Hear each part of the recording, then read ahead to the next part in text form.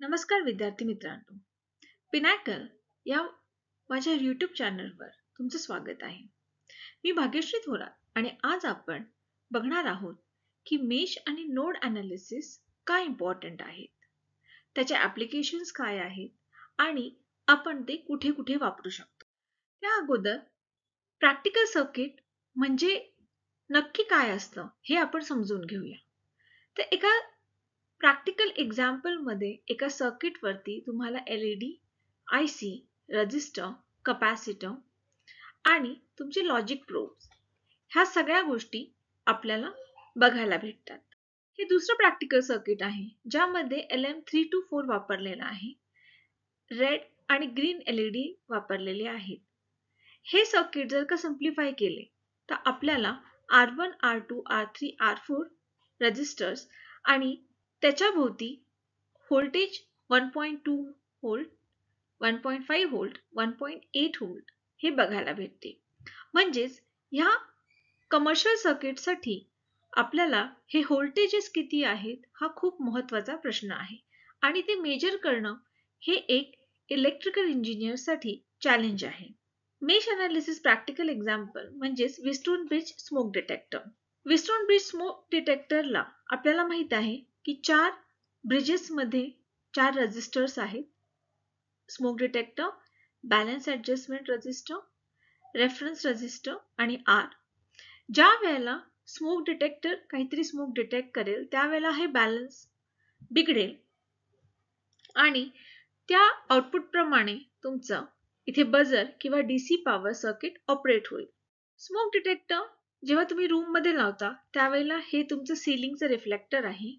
हे तुमचं रूमचं रिफ्लेक्टर आहे. Passages of air and smoke light source reference cell smoke detector register तर प्रॅक्टिकली आपण हे सर्किट असे इम्प्लिमेंट करतो. आता सगळ्यात मोठा प्रश्न आहे की आपल्याला मेश आणि नोड अनालिसिसची गरज का आहे? कुठलाही इंजिनियर जेव्हा एखादी सिस्टीम टेस्टिंग करतो टेस्टिंग म्हणजेच ती सिस्टीम डाऊन किंवा ती व्यवस्थित कार्यरत नाही आहे हे चेक करण्यासाठी तो काय करतो? तो पहिल्यांदा तो त्या सिस्टीमवरती जे स्केमॅटिक दिलेलं आहे म्हणजे डिझायनरनी जे व्होल्टेजेस दिलेले आहेत स्पेसिफाय करून ते चेक करायचा प्रयत्न करतो. हेच स्पेसिफाईड व्होल्टेजेस म्हणजेच नोड व्होल्टेजेस आहेत. तर नोड व्होल्टेज ही एक स्पेशल टर्म आहे. ज्या वेळेला आपण व्होल्टेज एका पॉइंट ते ग्राउंडमध्ये मेजर करतो. त्यावेळेला आपण त्याला नोडल व्होल्टेज असे म्हणतो. हे करण्यासाठी टेक्निशियन निगेटिव्ह किंवा लोअर पोटेन्शियल लीड ही ग्राउंडला कनेक्ट करतो. ग्राउंड म्हणजेच चासिसला कनेक्ट करतो.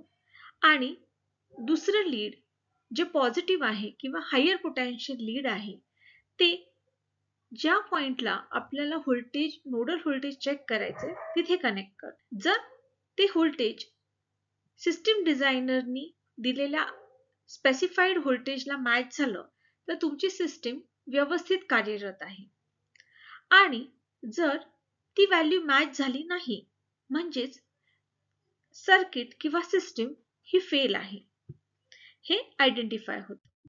आता तुम्ही हा व्हिडिओ थांबवा आणि तुमच्या प्रश्नाचं उत्तर लिहा. की तुम्ही कुठल्या कुठल्या ॲप्लिकेशनमध्ये मेश आणि नोड अनालिसिस वापरता? तुमचे उत्तर लिहून झाले की व्हिडिओ पुन्हा सुरू करा. तर तुमचे उत्तर आहे एव्हरीवेअर म्हणजे सगळीकडेच आपण मेश आणि नोड अनालिसिस वापरतो. या व्हिडिओ नंतर मला असं वाटते की तुम्हा सगळ्यांना तुम्ही इंजिनियर असो किंवा एक इलेक्ट्रिकल इंजिनियर स्टुडंट किंवा जस्ट तुम्हाला एक माहिती हवी होती की मेश आणि नोड अनालिसिस काय आहे.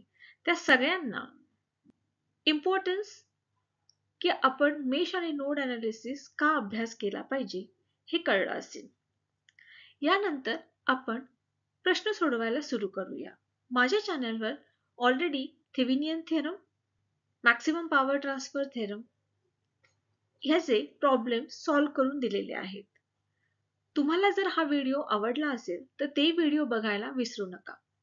आणि जर शेवटपर्यंत हा व्हिडिओ तुम्ही बघितला असेल तर या व्हिडिओला लाईक कमेंट करायला आणि तुमच्या फ्रेंडसोबत शेअर करायला विसरू नका.